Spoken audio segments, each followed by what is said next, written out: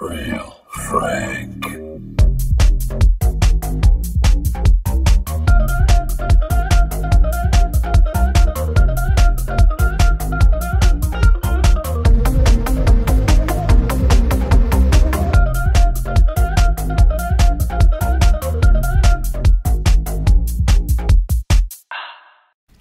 Hello, welcome to Reel Frank Kids Movie Reviews.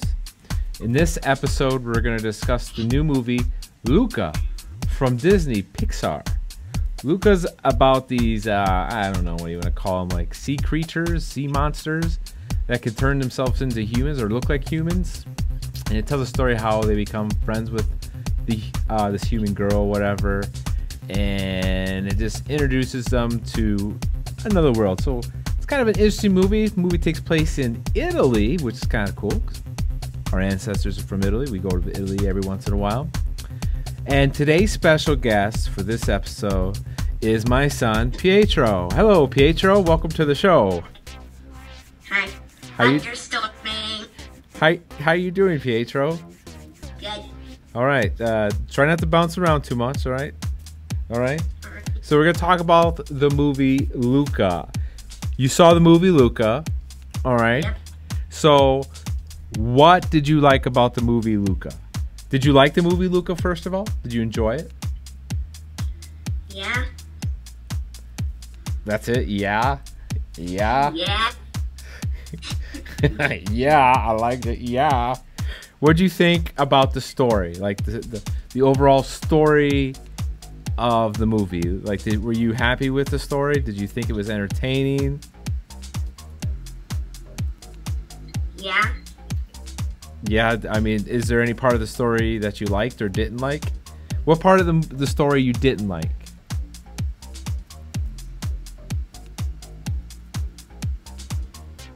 Can I say the funniest part of the movie? All right, you want to tell me about the funniest part of the movie? All right, go ahead. What was the funniest part in the movie for you?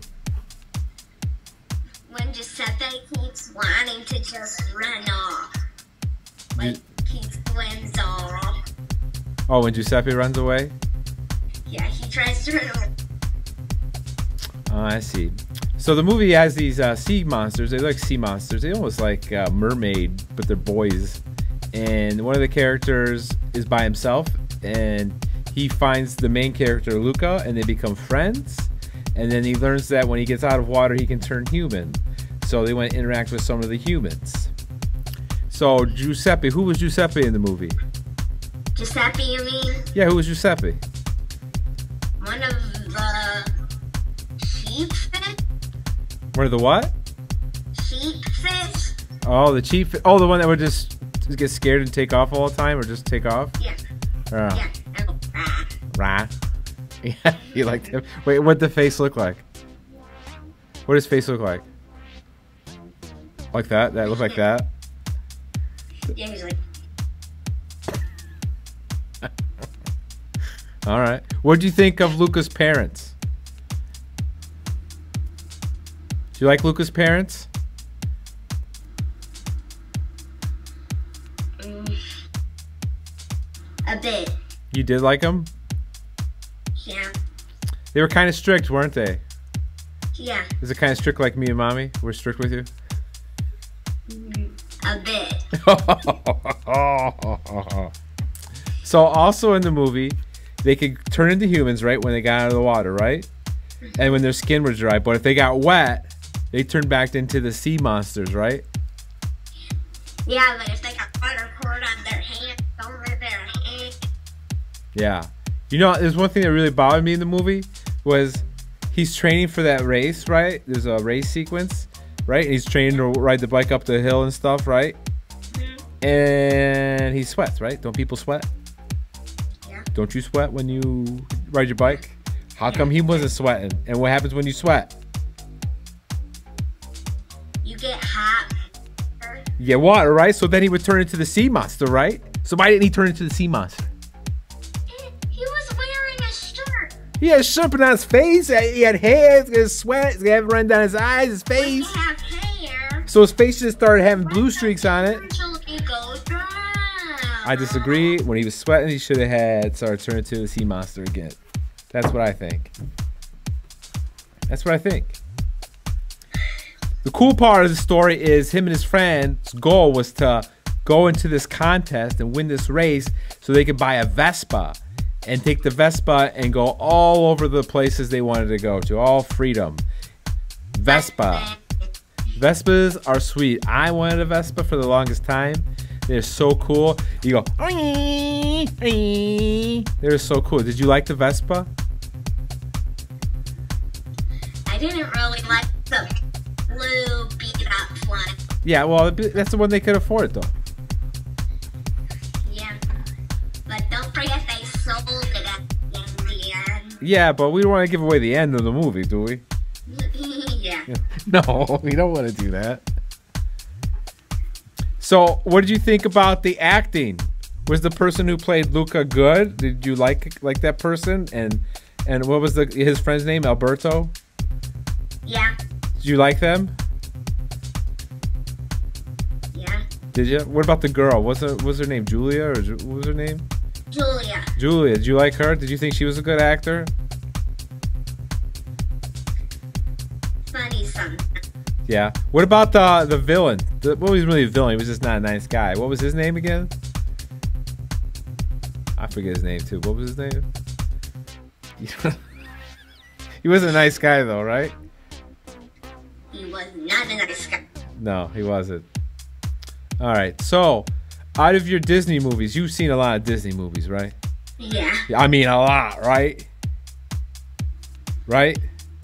Hmm As far as the animation goes, like the way it looked, did it look good, like compared to the other Disney movies?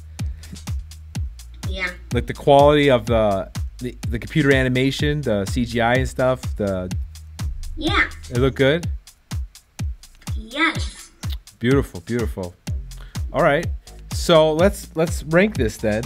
Um, well, before we rank it, what was your favorite part in the movie?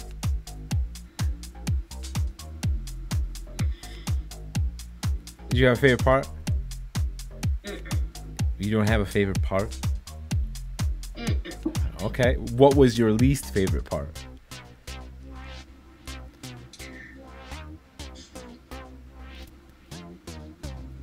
Come on, there had to be a part you didn't really like. You thought was eh, eh, right? Eh. I didn't really like when he was getting, like, his Luca was sticking his head out of the train. At the end, Yeah. because you were afraid he was gonna get hurt.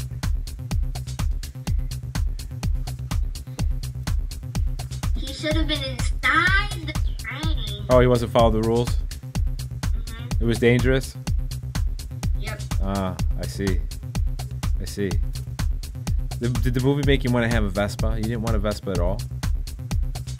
Not really. Oh looked like a ghetto. no. How would you rate this amongst all the rest of the Disney Pixar movies you've seen? Six. A six. So overall, you give this movie a six out of a ten. Nine. Nine? Nine is like one of the greatest Pixar Disney movies you've ever seen in your entire life. Like Seven. seven? Seven's still pretty high. Seven's like, oh my god, I can watch this movie like five times, ten times. I already watched it twice. You already watched it twice? Yeah.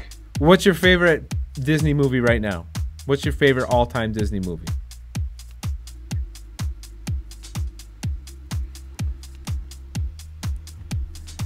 Don't have one. What do you mean? You don't have one? Ratatouille? Uh, WALL-E? Big Hero 6? Uh, the other one with uh, they're looking for their dad. The dad, the what was the, that one called? That you like Soul?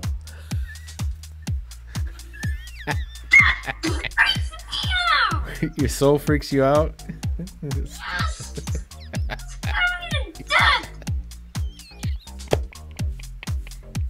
It still scares you. What scares you about it? The death part scares you about it? Yeah, yeah. All right. So, You still give it a seven. So your overall rating for the movie is a seven. Is that what you give it? Out of all the Disney movies, you'd say this is a seven. Okay. I give Soul a zero. Because you were scared of it. Yes. All right. So you gave yours a seven. So would you recommend your friends to go see this movie? Yeah. Yeah.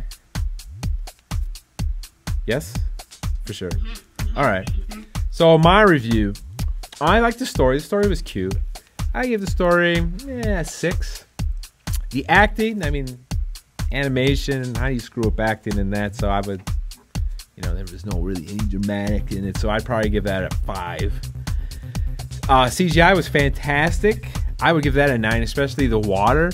You remember the water when they're showing the ocean and stuff washing up to the shore? That was amazing. Like the detail of the water was phenomenal. Phenomenal. I give that a solid eight to the CGI. Cinematography, I mean, cinematography for a Pixar animated movie is kind of hard to. What's cinematography? That's a great question. It's the way it's filmed, like the scenery and stuff in a movie, like this, the mountains, the sky, the cinematography, the way they move the camera for scenes and stuff for the actors and actresses. In uh, digital movies, a little harder to do that because it's all animated. I'd probably give that about a, a five. So my overall rating for this movie, I would give it a 5.6. 5.6. And I love the Vespa part because for a while there, uh, we went to Italy. When I came back from Italy, that's all I talked about was getting a Vespa. But if I had a Vespa over here, I'd probably get killed because people drive like crazy here and don't respect motorcycles. How are they gonna respect a Vespa? Vespas are sweet. So I give it a five point. What did I say? Six or seven? I said six. Five. Five point six, and you give it a solid 7 mm-hmm. You sticking with that? Mm-hmm. All right, great. So that's our review for Luca. It's a very good family movie. I give it a 5.6. Eh, it's it's decent. I like it from the Italy pers- personal standpoint for me because I have family there. By the way, hello to Bianca Maria, Anthony, uh, Pietro, and Letizia. How you doing? Uh, so that's where I had it from the sentimental value. So 5.6, 7 for Pietro. He's the kid. He probably has a better feel for it. Uh, so if you're interested, check out Luca. Thanks for watching this episode. Until we uh, review another one next time. Thanks for thanks for watching. Bye.